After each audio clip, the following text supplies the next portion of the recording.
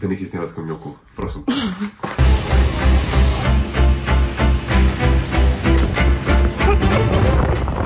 Živijo in dobrodošli v 12. vlog na mojem profilu. Kam gremo danes? Danes gremo jaz in moja punca Karin, njo že poznate, na Dunaj. Kaj bomo delali tam? Tako kot vsak vlog si bomo malo pogledali mesto, čudovite lokacije, ki jih mesta ponuja, mogoče kakšno kulinariko, Burger King in tako naprej. Prijem pa gremo na pot. Dajte prosim stisniti en like, naročite se na kanal, če se še niste. Pa by the way, od zdaj naprej sem jaz tudi na Trecih, tako da pejte me še na Trece followat, če hočete seveda. Če pa ne veste, kaj so Treci, Treci so v bistvu konkurenčna aplikacija Twitterju, samo da je veliko, veliko manj toksična. Zdaj pa počasi gremo na pot. A ja, se res, danes jaz furam. Ja, prav ste slišali, jaz bom vozil. Zdaj pa da še vidite, s katerim avtom greva, kar jim pokaži.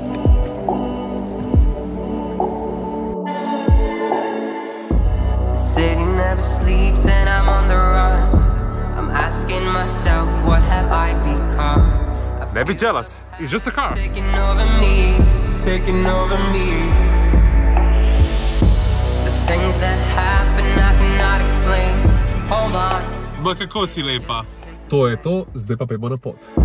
The city never sleeps and I'm on the run. In po enem šotu poti smo že na petrolu. Kari, kaj si vzela, pokaži gledalcem?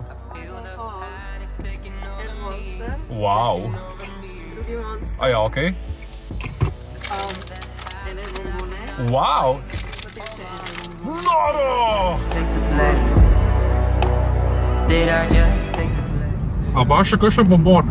Ne, No tole, dame in gospodje, kot že veste, je pa klasika pri celju. Lej, meritve hidrova hitrosti, pač mislim. še malo pokazal. Feels like I'm innocent.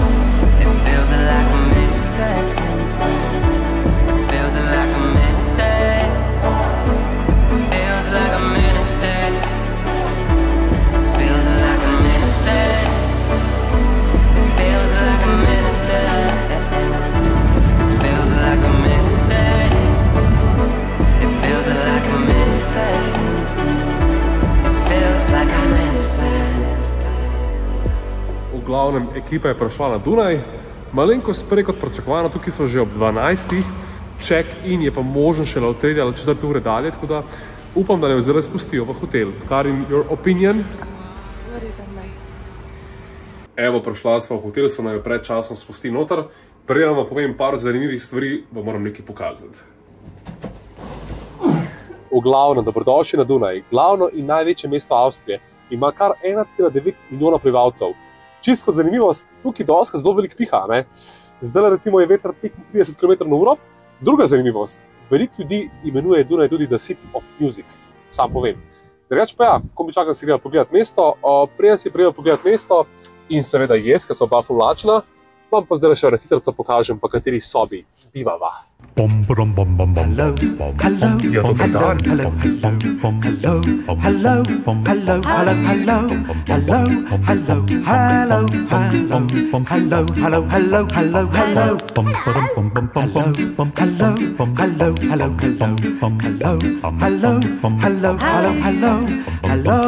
Tole, kar ste jih kar videli na en hotel izdaleč, ne? Reče se mu Akom Hotel Vienna, skratka klesva, tako da veste.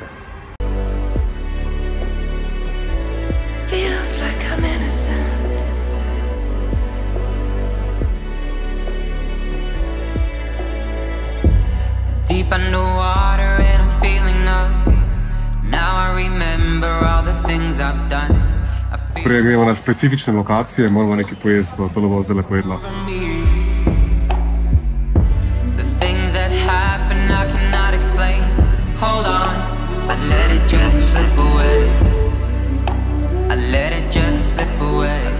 Karin, prej gremo naprej, kratka recenzija, kako bo se jesti. Meni osebno zelo dober, Karin. Dobar je bilo.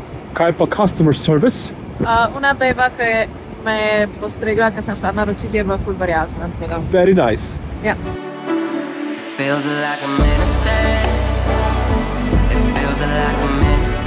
Pogrešal sem te beli hudič.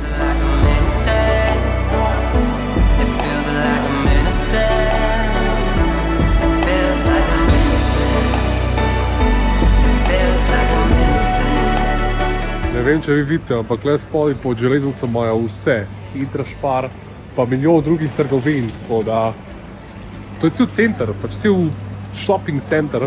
Tako Da, it's a nice experience. Ne pač, to je dobesedno cel shopping center. In to pod železnico. OMG, Karin, a greva spet v Prago?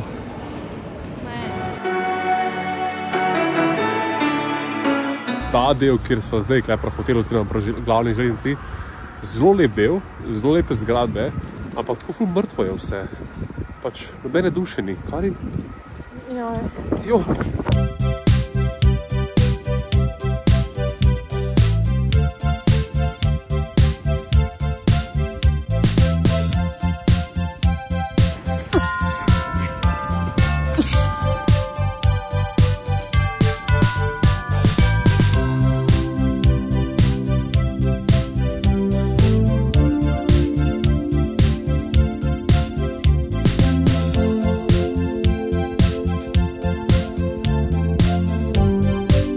Torej, kaj sploh je tole za mano? Tole je palača Belvedere. Gradnja te palače se je začela že leta 1712 in končala šele leta 1924.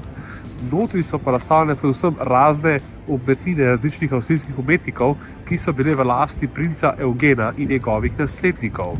Tako da, ja, jaz pa kar bi šla z veseljem pogledati od te umetnine, ampak žal je naslednji prosti termin za ogled še okoli pol petih, kar pa je čez eno uro in na tem brazu jaz pač ne mislim čakati. Tako da Karin, pet.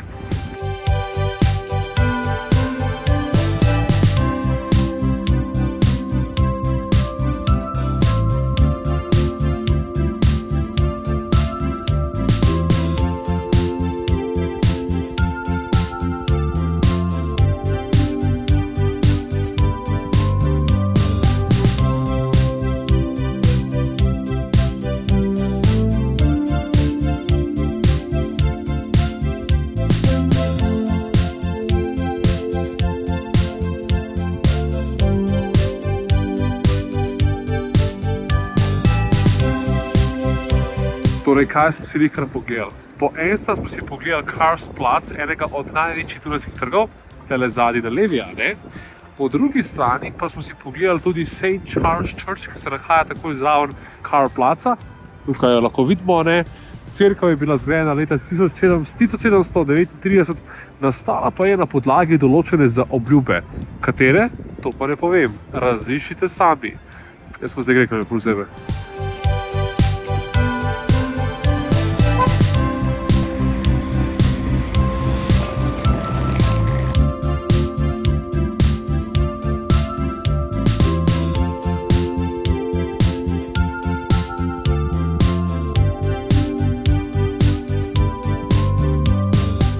Situacija je sledeča.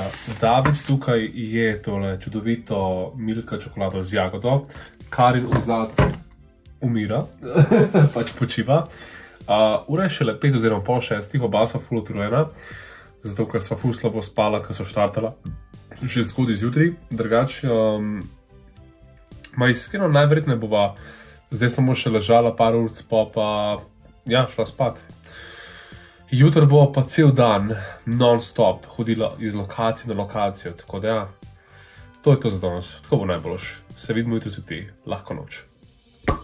Dobro jutro in dober dan, ura je 7:25 in jaz sem zdaj v fitness.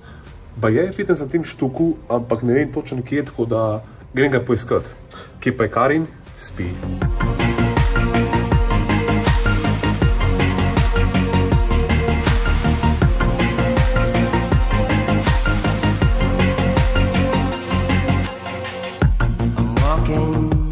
Drugače, kaj pravite na moje hlačke? Tole pa ni dobro, se mi zdi. Au. Ne pač dobesedno, strop je tako nizek, da jaz, pa 1,92 m, ne morem sploh teči. Se veste, kaj to pomeni, ne? Minus točke za fitness. Preden začnem, samo še ena stvar, valjda, živim se veste, koda David 5, vela skozi, na te blagovne znamke, tako da ja, kupite si kaj.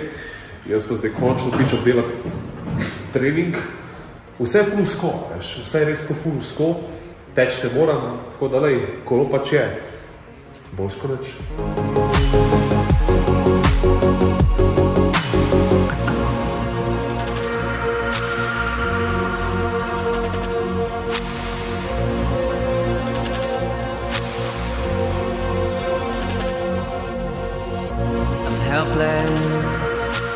Kaj je vse sfukan?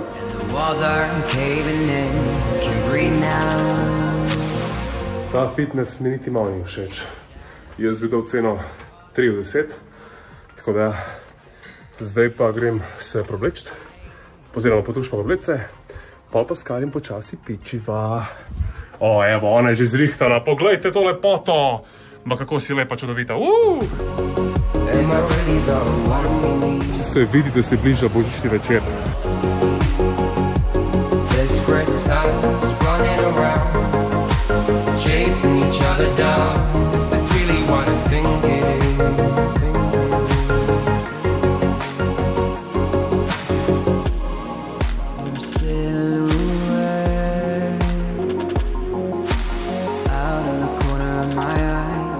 Tole za mano je Dunajska državna opera, ena od vodilnih opernih hiš na celem svetu. Tukaj je na sezono kar 350 predstav.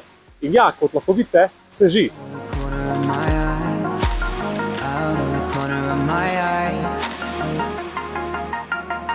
it is? Tole zdaj pa je božično vzdušje, a je tako? Je tako. A te kje zebe? O, to pa ni dobro. je- To pa ni dobro, je če smo.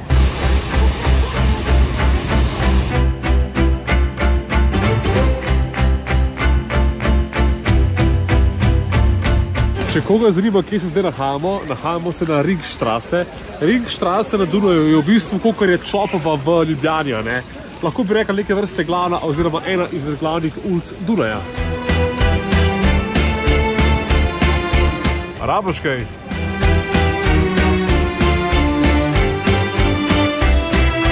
Burger King je bil amazing, koga vedno, tako da pičemo zdaj naprej.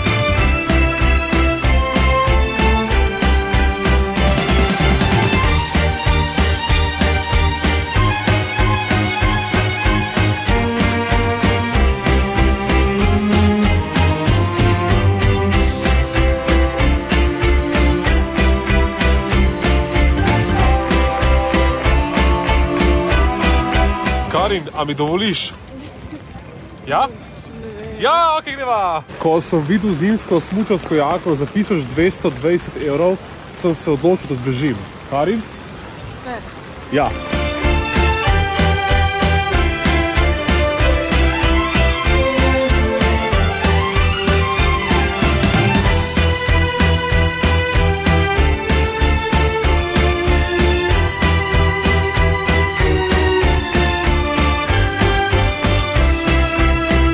Kako si luškana?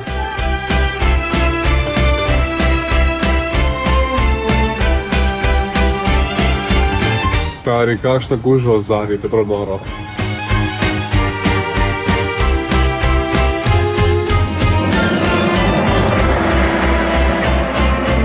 Tole je katedrala svetega Štefana, je simbol Dunaja in prav tako se nahaja v samem centru mesta. Čisto zanimivost, tale crkva je visoka 136 metrov, kar jo naredi najvišjo crkvo v Avstriji. Karin, kar pokaži.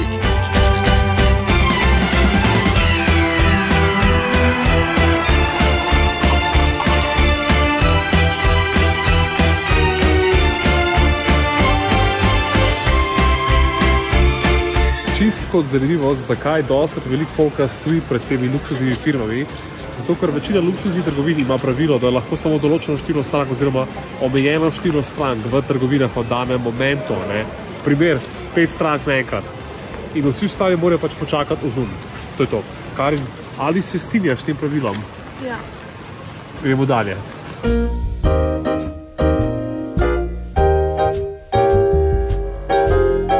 Ok, dve stvari. Prvič, zdaj smo s Karim Vih hrvatili MCM oziroma MCM trgovini v zadnji. David je poškodoval prst, ker se je težnik zlomil. A druga stvar, bili so zelo prijazni, bili so zelo super, tako da ja, poročam. A sem kaj kupil? Ne. E, pa tako pa zgleda bo nov dežnik, potem, ko je veter malo se su, kot lahko vidimo, je odličen. Temu se reče klasičen ljubljanski dežnik. Če, če živiš v Ljubljani, moraš biti tak dežnik. Če ga nimaš, nisi pravi ljubljančan.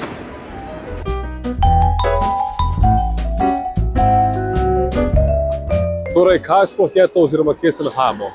Hofburg. To je kaj? Cesarska palača oziroma kompleks različnih palač. Tole obstaja že kar nekaj časa, največ pa so tole uporabljali Habsburžani oziroma vladajoča dinastija Habsburžanov, predvsem med 13. in 20. stoletjem. Trenutno je pa tale kompleks palač eden izmed najlepših arhitekturnih najdb oziroma zadev na Dunaju. A ja, pa še to. In jaz in Karin smo ostala brez dežnika. Ne, ni sarkazem. Močni sunki vetra so uničili, dobesedno uničili dežnik obema. Tako da zdaj moramo iti prvo kupiti nov dežnik, oba, preden greva sploh naprej. Karin, kakšen je feeling, ko si brez dežnika? Ok, en update. Dežnika še nisem dobil, imam pa šal. Po mojem se ga ne nosi tako. Karin, Ne vem. a zgledam dober. Ja. Karin?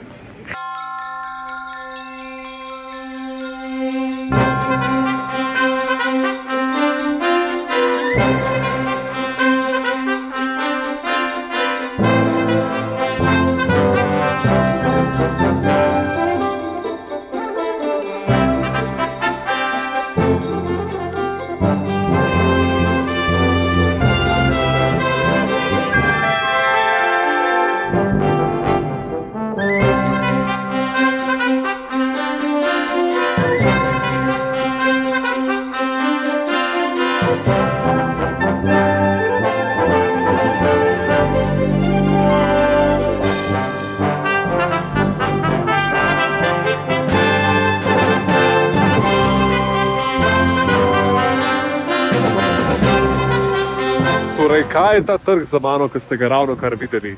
Tole je Rathausplac, eden od večjih trgov na Dunaju. Ima tudi ogromno drsališče, tako da Karin v bistvu, a se gre pa sprovat na drsanju? A znaš pa drsati? A bi se naučila drsati? A, ok.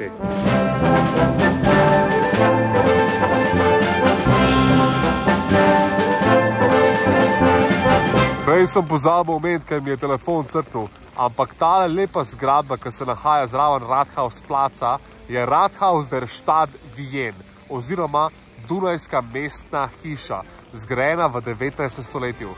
Zraven mestne hiše se pa nahaja tole.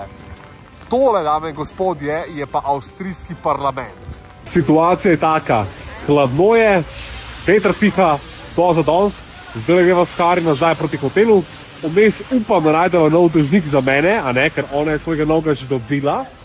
In ja, to je to. Poti nazaj pa ne bom s tem, ker je to grdo vreme, da preprosto nočem, da mi spet telefon crkne. Tako da ja, pepa. Ajde, pet. V glavnem ne bom kompliciral, jaz pa Karin sva oba utrujena, tako da greva samo še spat. Jutr je že dan 3, tako da ja, nadaljujemo jutr. Lahko. Dobro jutro in dober dan. Ura je malo čez deset in jaz Karin še zmeraj nisva štartala nikamor. Zakaj ne? Ker, kot že veste, včeraj je dobil kar močen dež in mi dva nisem imela dežnika, ker nam je veter zlomil, obema. Tako da ja, zdaj že skoraj dve uri sušiva najne stvari. Tole vse smo že posušili. Tole je tako mokro, da s fenom dejansko ne moramo posušiti, oziroma moramo raje počakati, kakšen dan ali pa dva. Tole je tako, tako, kaj pa dela Karin? Karin pa suši svoje patike. A gre dobro? Ne, ne. A ja, pa glede dežnika, ne. Meni je ful zanimiv, ker recimo kle na Dunaju, pač Dunaj je znan po tem, da ima močen veter. V trgovinah je ful težko dobiti dežnik, pač res težko ga je dobiti. Majo sem ter tja kakšne res smicene male, pa še unta mal dežnik, ki so ga pol včeraj načeloma kupla, zlomil se oziroma pokvaril se takoj. Tako da, ja, Dunaj, zakaj nimate velikih, močnih, konkretnih dežnikov? No, ali pa jih jaz ne najdem. Čeprav vprašali smo več prodajalk v teh trgovinah, ki ga lahko dobimo, pa so vse rekle, e, ne vem, ne vem, ja, jaz pa hočem vedeti. Yo, yo, MC David tukaj prišel vsak dan nov stil, oversize pullover, kapca, ki mi je všeč, ampak je firma logično. Ne znam reči, pozab.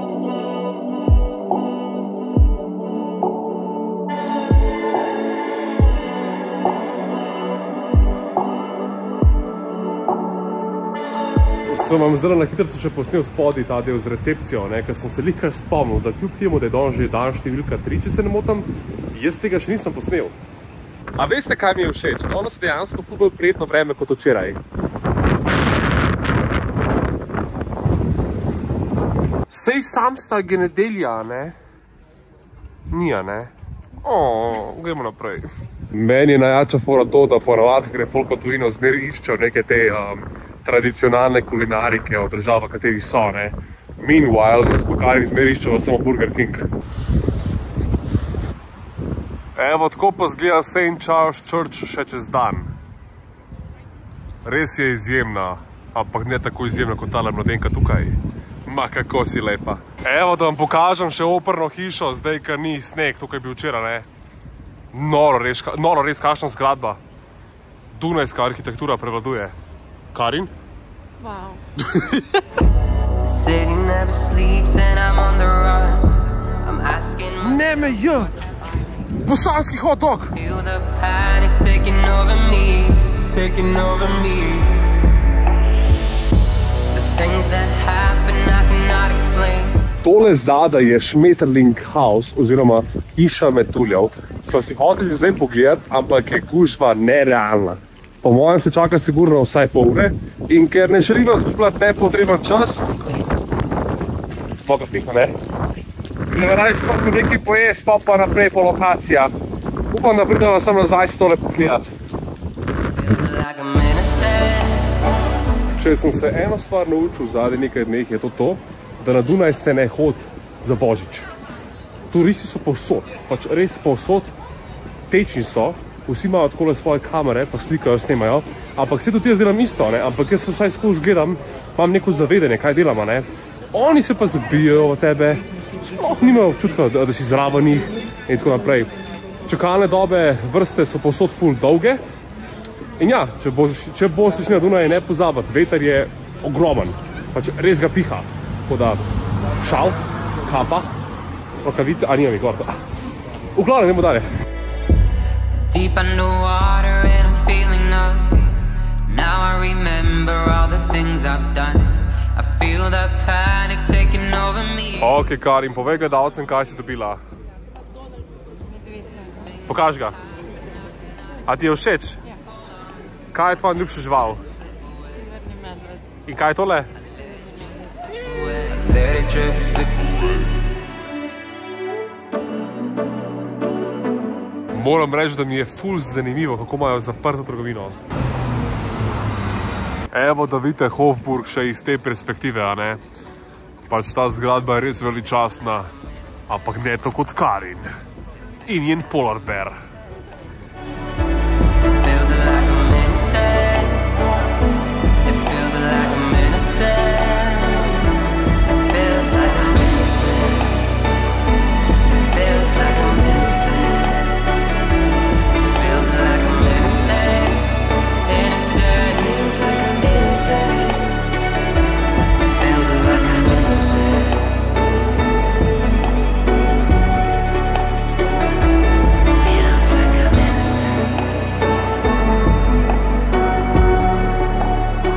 Niso rekli diskretna pošiljka?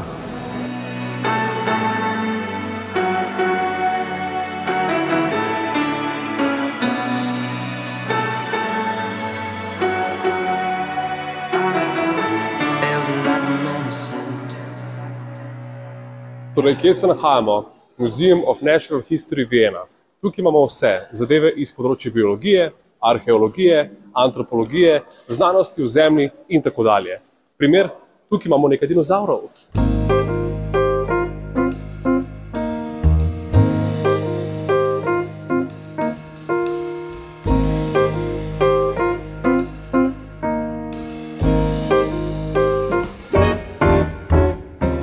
A je to najboljši parijato od Karin?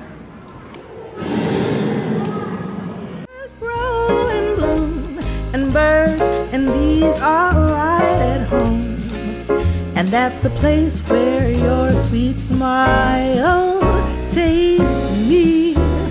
Up in the clouds, my head is swirling soon on a breeze where I could fly forever.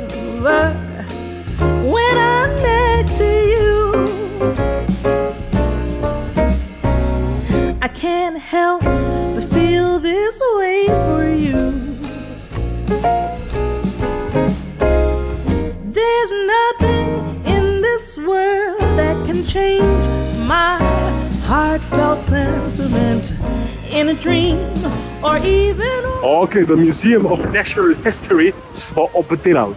Pičemo zdaj v Šmetrlin House, tisto, kar prej nismo pogledali. Tako da, kaj ste? Haos. Šmetrlin House. Spet je gužva.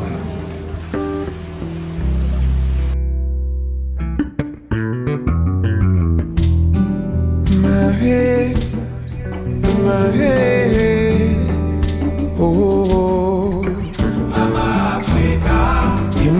My daily gaga, my in my wabina shumana, yeah, mama. A je ful nemoralno, če vzamem ta denar. Kako ga boš pa dobil? Well, my, my, my, my,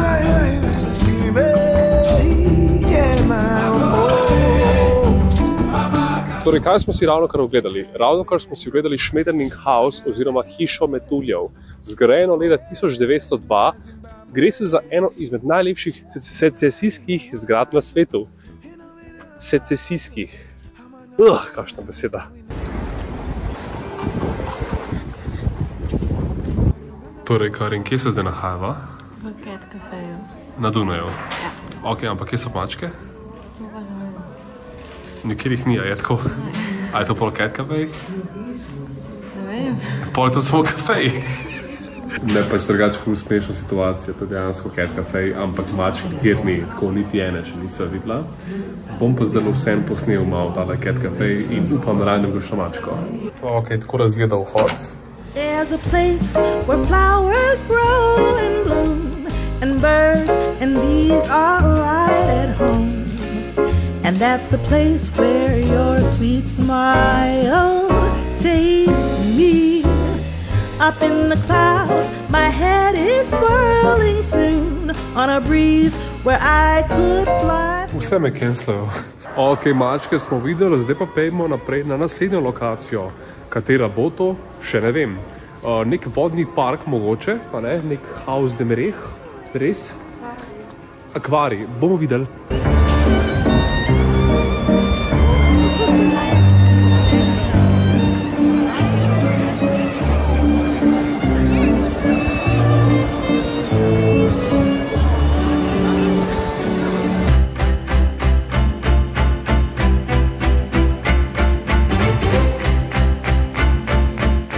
Drugače čista mesta, pozabil sem povedati. A se spomnite, ko v Pragi me nobeni prepoznal? No, danes so me že tri osebe pre- prepoznale, mene pa Karinu.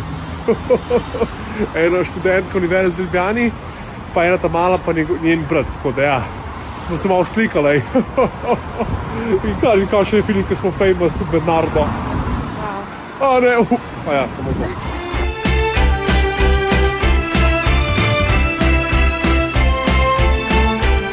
Dame in gospodje, tudi vodni živalski park oziroma vrt odpade.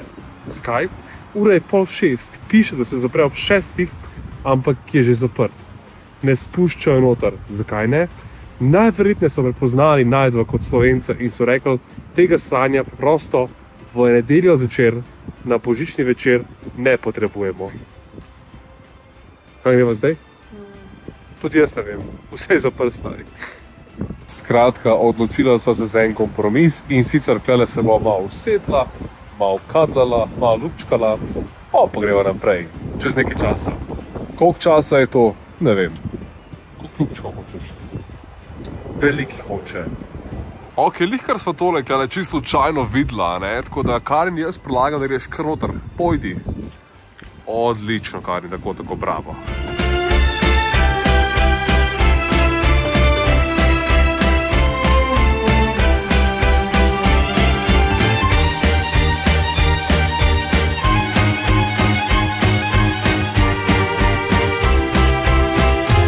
Ok, ne samo, da so se ful dobro najedla, ne? tudi malo veliko sva spila. Jaz sem recimo spil, mislim, da 5 deci, 6 deci Sauvignon Blanca, tako da ja. Greva naprej, ne vem kam bova šla, kam greva. Nekam greva.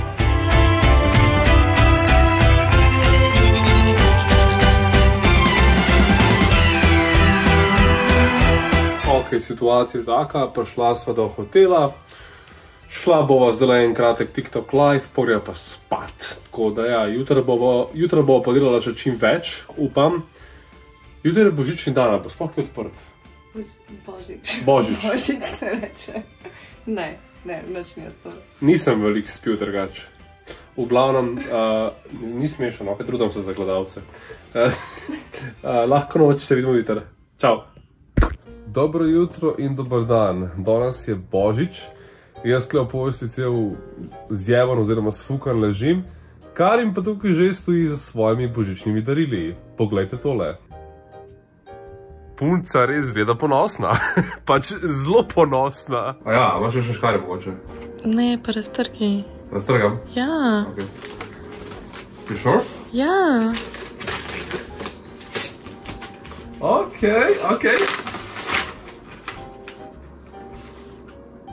Prva stvar, Lego kocke. In sicer, a je to, a je to Ferrari? Uh -huh. Ferrari! uh, ful ti hvala, Kari, je to? Uh, full cute, ful so happy. Lego kocke so vedno odlična izbira za darilo. Tako da punce, če ne kupite samo fan Lego kocke. Še več Lego kocke! Čakaj, čakaj, čakaj. Oh, idemo, to je Star Wars! Ve to je Star Wars, je to! Amazing! Le to! A ni hudo! Pač amazing! Čakaj, čakaj, čakaj, kaj pa gled? Čakaj. Mogoče ne preveč tega dela. A je kakšna taka stvar, ok, ok, sorry, sorry. Uh, okay, um, to me ne zbija kot kocke, nekaj drugega.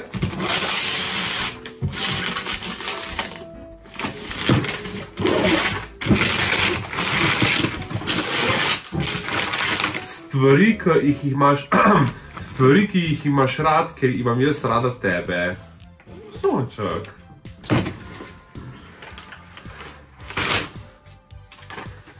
Občasno malo nakladam, ampak sam zato, ker te imam rada, preberi.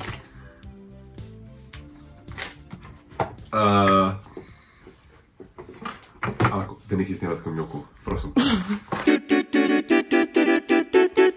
Thank you very much. Oh, thank you. Thank you, thank you, thank you. Thank you very much. Thank you, thank you, thank you. Thank you very much. Thank you, thank you. Thank you very much. Thank you, thank you, thank you very much. Thank you, thank you, thank you. Thank you very much. Thank you, thank you, thank you. Why, thank you very much. Pa lep božič vsem. Ok, en update, že eno uro tukaj leživa in se sam kadlava po lupčkova. Nisva še šla v center, oziroma, oziroma nisva sploh še pogledala, kaj sploh je danes odprt. Tako da ja, bova zdaj počasi pogledala, bo pa počasi pičiva. Je tako? Laže, ona bi, se, ona bi se samo kadlala, stiskala k meni in to je to. Lejo, ok, lučkana. Drugač, kakšen je plan? A se spomnite palače Belvedere oziroma Belvedere Palace? No, ogledali smo si jo zadnjič, nekaj dni nazaj, samo iz zunaj, noter pa še nismo, tako da danes si jo bomo pogledali od znotraj. Karin, a se kaj veseliš? Jaz isto. Karin, preber tole. Tole. Še enkrat. Ne, Karin, reči se. Ausken!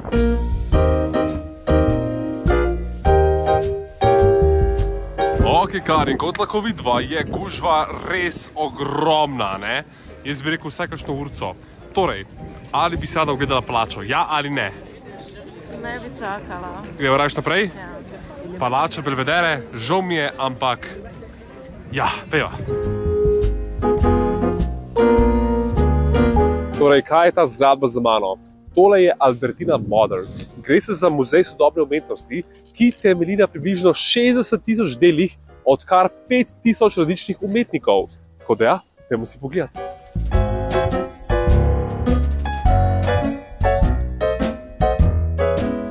Karte smo kupila, 36 evrov za dve osebi, tako da Karin, a si ready? Ja. Ok, gremo. So rekli, da moramo stvari vse odložiti tukaj, tako da zdaj smo šli nazaj do garderobe.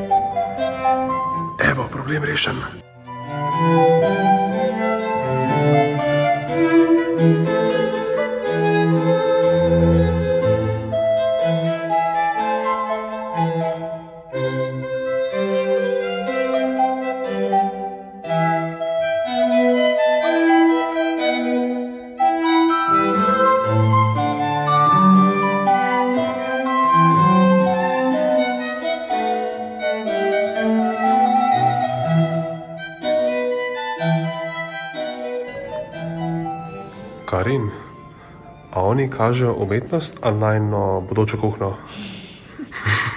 ok, Albertino Modern smo si pogledali. Zdaj pa je čas za Albertino, brez Modern. Ne hecam se, pač resno mislim, boste videli, boste videli kaj je razlika. Pridite z mano.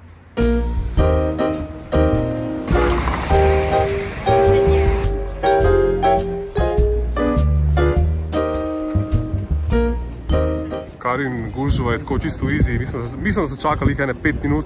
Greva? Ne. Ok, gremo naprej.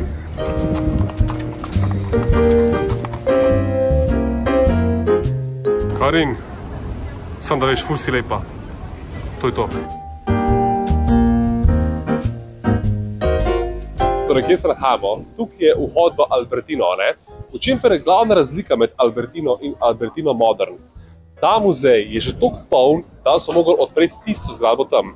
Plus, tole je dejansko nekdanja razkošna palača, v kateri so živeli Hasbružani. Zdaj pa Karin, pridi, pojdeva.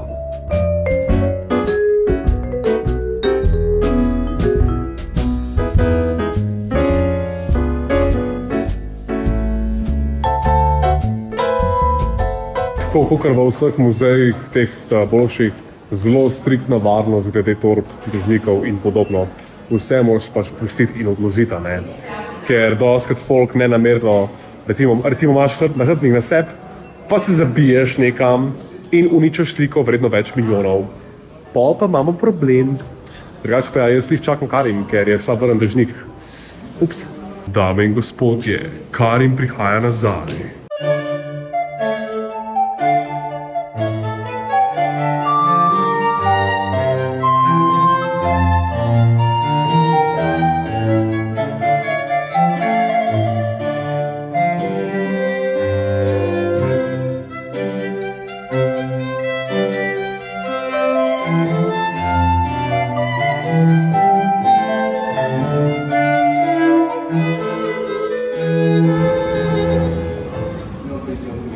Je prišel varnostnik do mene in je rekel, da ga ne smemo snemati. Ne? In sem rekel, čak samo, grem jaz vprašati šefa. Vprašam šefa, ja, lahko snemaš, lahko snemaš, valjda. Če bo kdo rekel, da ne smeš, reči, pošlji ga meni.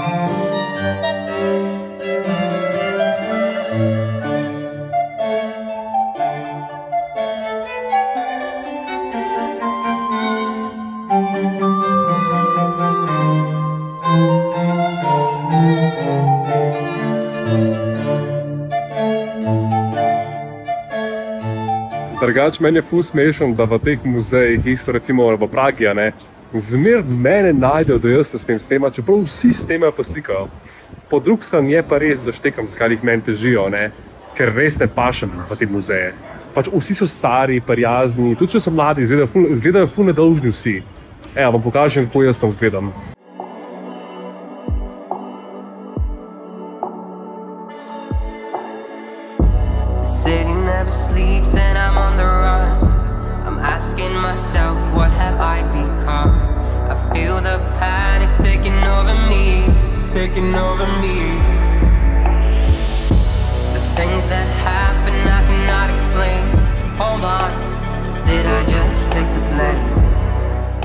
Ta lokal je zdaj ful čudna izkušnja, tako čuda, da sploh nismo počakali, šla, samo šla sva. Karin hoče naročiti v pultu in reče, da ne, ne moreš kaj naročiti, moraš počakati, da pridemo do tebe. Ok, čakava, njih ni nikjer. Pač vzum so čakala, valjda smo preverili, a vzum strežejo, so rekli ja, ampak njih ni bilo nikjer, tako da ja, minus točke.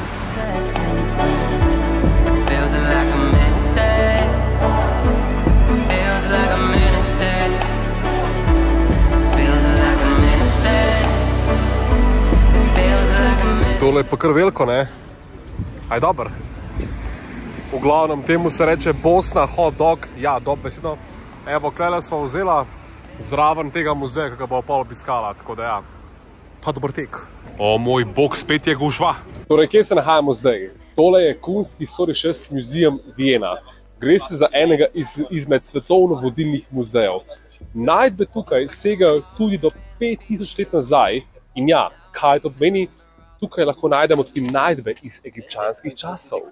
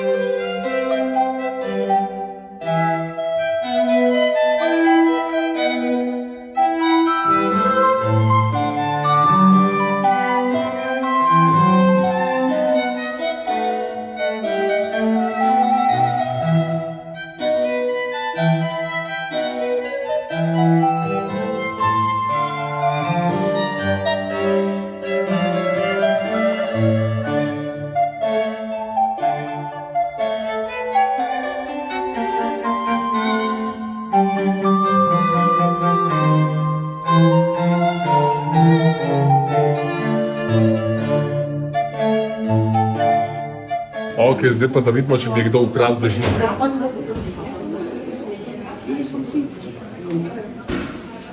Nisem ga ukradel, se premazal. Ok, muzej smo si uspešno ogledali, zdaj pa gremo naprej. A se spomnite v, v, od reč vodni akvari, a se spomnite včeraj tisti vodni park oziroma akvari, no? No, zdaj gremo v ta akvari, si ga končno pogledati. v vodni akvarij.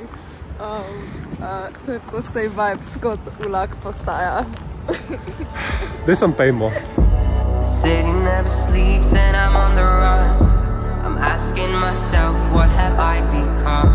I feel the panic taking over me, taking over me. The things that happen I cannot explain. Hold on, did I just take the blame? Did I just take the blame? Did I just take the blame? Ej, Karin, poglej, tvoj prijatelj je zadnji. Karin, poglej, tvoj prijatelj je. Moram reči, da imajo veliko večji izbor živali, kot sem pričakoval. Predvsem kače so mi zelo všeč, Karin.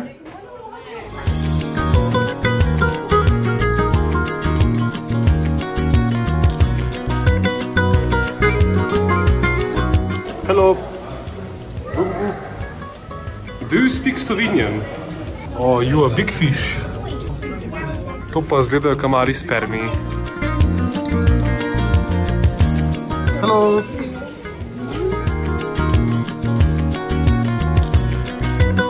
Tole zdaj pa ni za tiste, ki imate slab želodec, oziroma ki se ful bojite višine.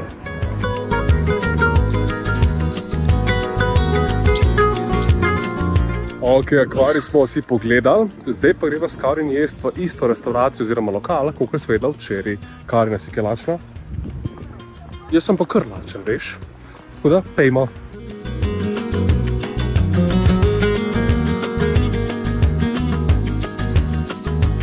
Ok, najedla so se, zdaj pa greva naprej. Ne veva še, ali bova šla še kaj si pogledat, ali greva proti hotelu se kar malo spočiti oziroma spat. Ker če hodiš cel dan, pa če hodiš po teh lokacijah, se kar zelo hitro utrudaš. Je tako? Ja. Torej, Karin, ali bi ti šla še kaj pogledat, ali bi še spat? Ne vem. Jaz tudi ne, tako da lej. Gremo random. Bomo videli, kaj bo. Je tako? Ja. Ok.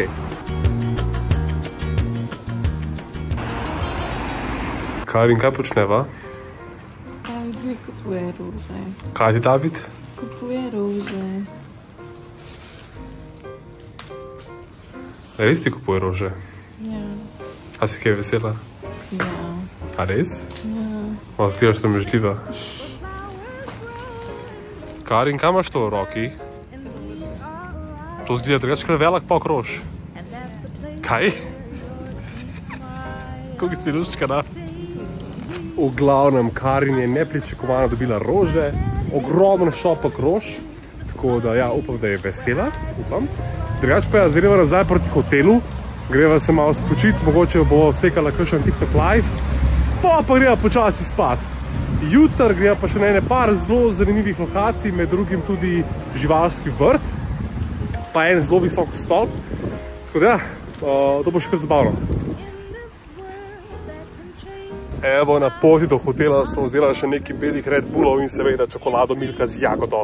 A se kaj veseliš, Karin? Super.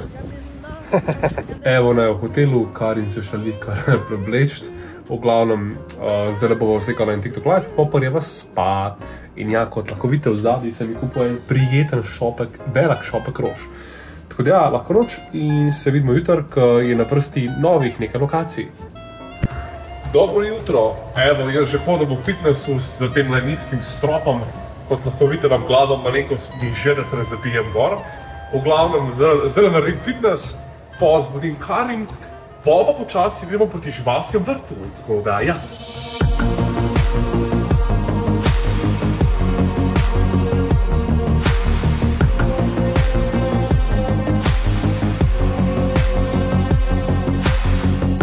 Tale vaja, ki vam zdaj pokažem, je full underrated. V bistvu gre se za plank v poziciji sklec, ampak na eni roki. In kaj stvar? Greš v to pozicijo, ne? Zdaj pa, ko greš ne na roko, ne smeš delati tega, ne smeš delati tega, pozicija je ista, samo to narediš. In držiš. Torej, napet trebuh, ravno, nad se ne kriviš in to je to. In sam držiš. In druga roka, greš nazaj na obe.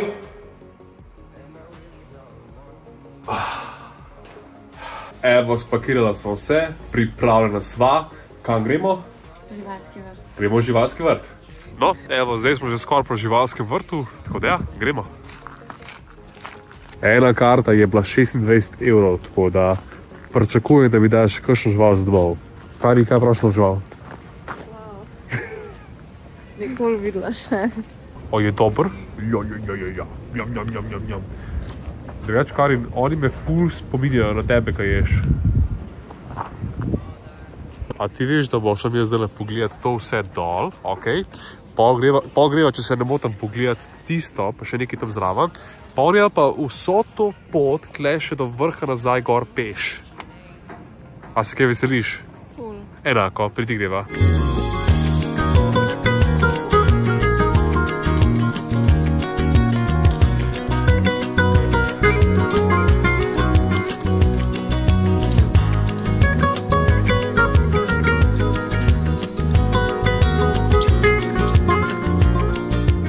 veš, kaj mi je sam smešen?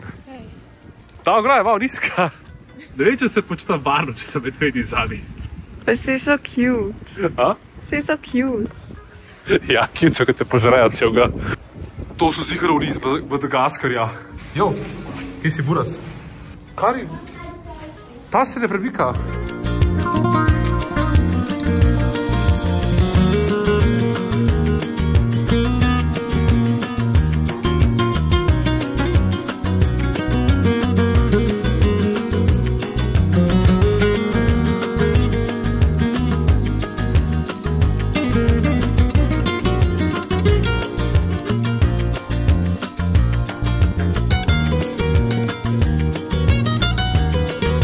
Jo, kaj dogaja? Kdo je zate najboljši slovenski tiktoker? Brat, ne gledaj v tla, prosim.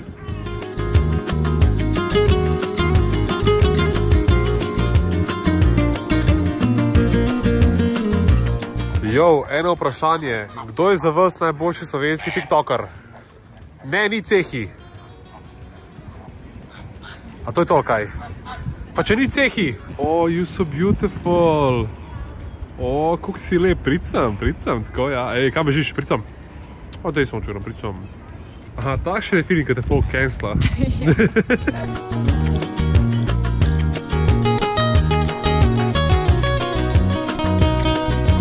Pačka jaz pa ti zjutraj. Jaz lepo pripravljam se za fitness, ti spiš kot ubita. Ja.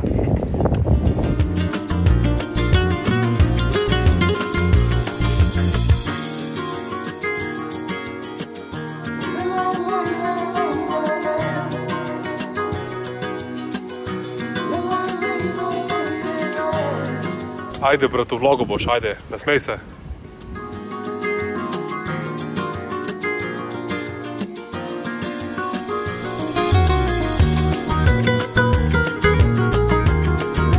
Torej, lihkar smo si pogledali živalski vrt Šombrun, najstarejši živalski vrt na svetu. By the way, bil je prav tako šestkrat zapored razglašen kot najboljši živalski vrt v Evropi.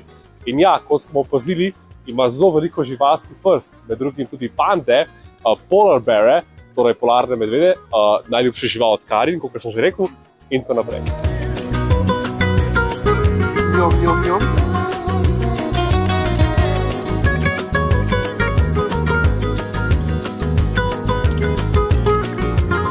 Tole za mano je Palmer House Schönbrunn.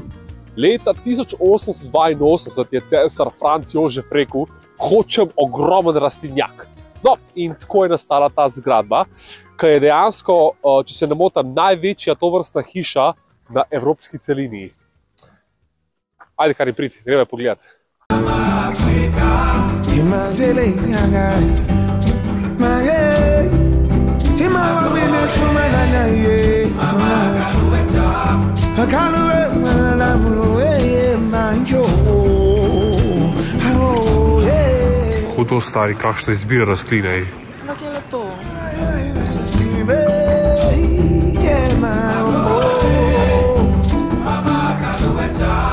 Kaluwe Ngale Uge na Zimbabwe Ina la vida wayo Ina vida la yo Amanya mama Africa we na na na show Africa Imani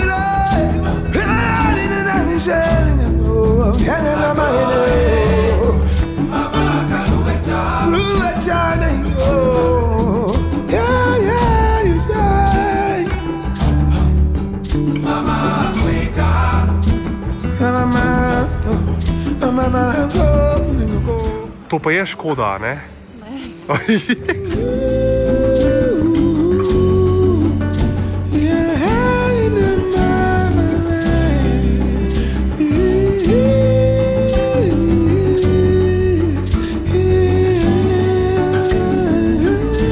Ok, tole za mano je Showroom Palace, iskreno tukaj ni več nekaj ful pametnega zapovedati. A veste ta park, ki smo si ga vihkar pogledali? Ta park je pa ogromen, torej usporedno meri približno 1,2 km, od severa proti jugu pa približno 1 km. Če se ne motim, je bil odprt za javnost leta 1779. Tako da ja, drugače pa tako smer, kot vsak dan veter piha.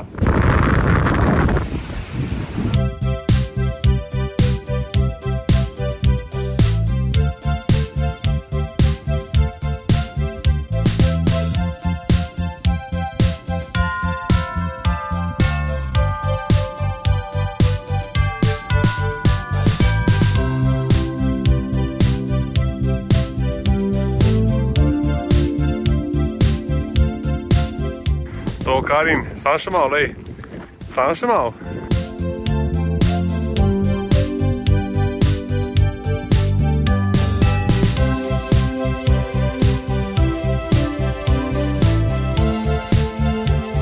Če koga slučajno zanima, zakaj niso šla v kafeju, pa le tukaj, nočem si niti predstavljati, kakšne cene so gle. Karin, je tako?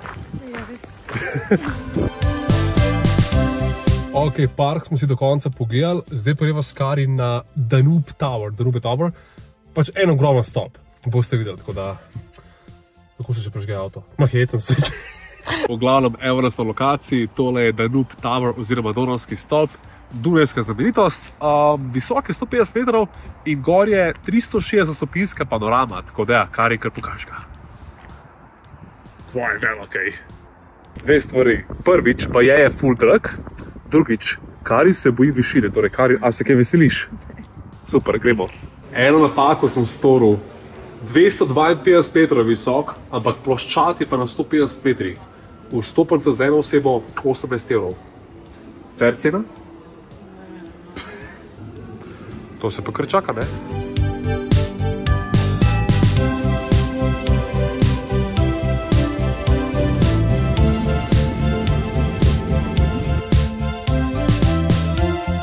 Tiha veter, ampak ti si čudovita.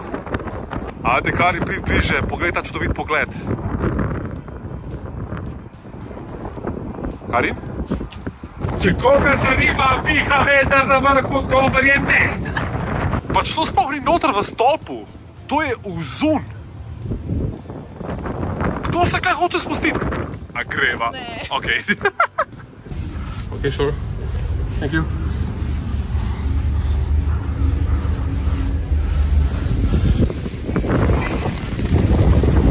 Whoa!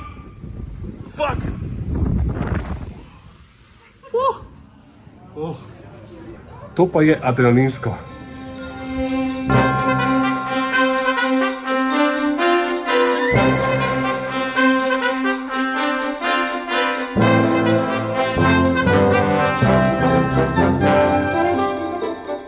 Ok, Danube Tower smo si pogledali.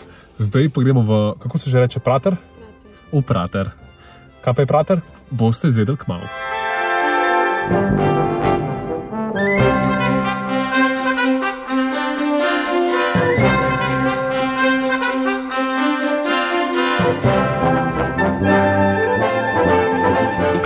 dobrodošli v Prater, ogromen zabaviščni park tukaj v Dunaju. Uh, Klej se ne gre za vprašanje, koliko stvari bom probal, ampak koliko stvari ne bom probal. Ni šans. Ne, kar je nekaj z idejami. Ne, ne bomo še tega, ni šans.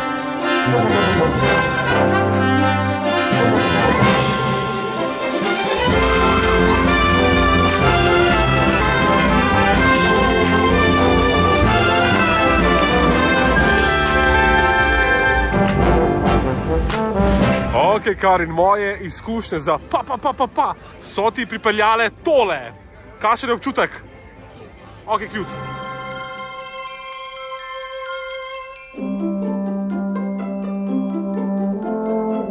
Žal nisem mogel snemati dirke, ampak Karin, kako ti je bilo? Vajeti vmes strpno avto. Ampak to ni fair, ker si ti zabil vame in si me otvoril roko. Ne, kar je hotla izsiliti, Ne. kar je hotla izsiliti. Ja, jaz sem bila tam, ampak pol si me ti porinil v, tja, v rok. In potem moj avto ni šel nikamor. ne. Vsak izgovor je dober, Ne, ne? ker je res. Ja, ja, ni ja, fair. ja, ja. This Christmas, I'll dream of a private yacht. Sail anywhere if it's hot. But I got the dream that's making me beam. It's you, me, and mistletoe. I'll dream of a Christmas tree. Lit up with a gift for me. But this I insist is top of the list. It's you, me, and mistletoe. Twinkling lights, crackling fire. Let's igra. 4% vseh šatov sem zadev. Dobro ciram lukne. Watch the snow. Nights full of desire that dreams only know. Don't you know this song is for you, my dear? This Christmas I long to hear that finally the theme is more than a dream about you, me, and mistletoe.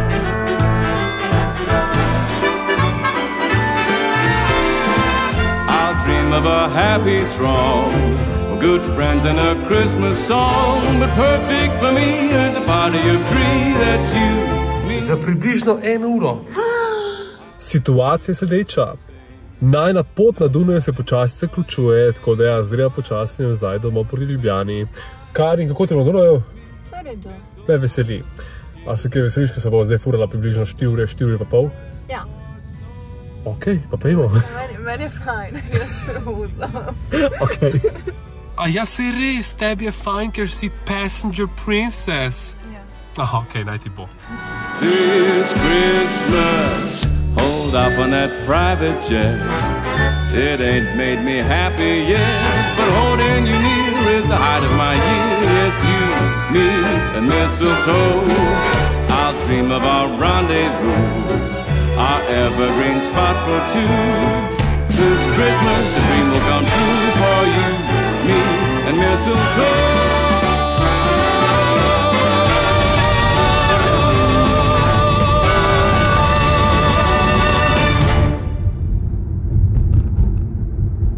Ena situacija je taka, da smo šli čez mejo, da smo v Sloveniji. Mislim, da je do, da je do doma še ne 136 km, tako da ja, akcija, reakcija, gremo do konca.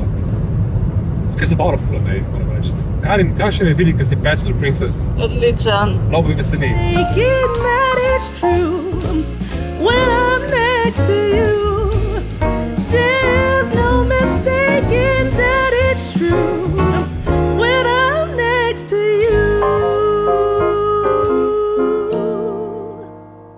In evo naj doma, kot lahko vidite, sva oba že full utrujena, tako da ja. Hvala vsem za gled današnjega posnetka, upam, da ste video lajkali, se naročili na kanal, če se še niste. Naslednji vlog lahko pričakujete iz Varšave, tako je, v Varšavo greva v kratkem, tako da prvi, drugi teden februarja boste videli vlog iz Varšave. In ja, se vidimo prihodnji teden v soboto ob 11, ko bo na vrsti nov video. Love you. Evo ena kepca. Kva to leti, stari? A dej, bratno, likaš sem prišel domov. Zakaj si, kako, kako si prišel v sobo? Da neki s tem, ker se sam krinčam. Ui. Oh, so many people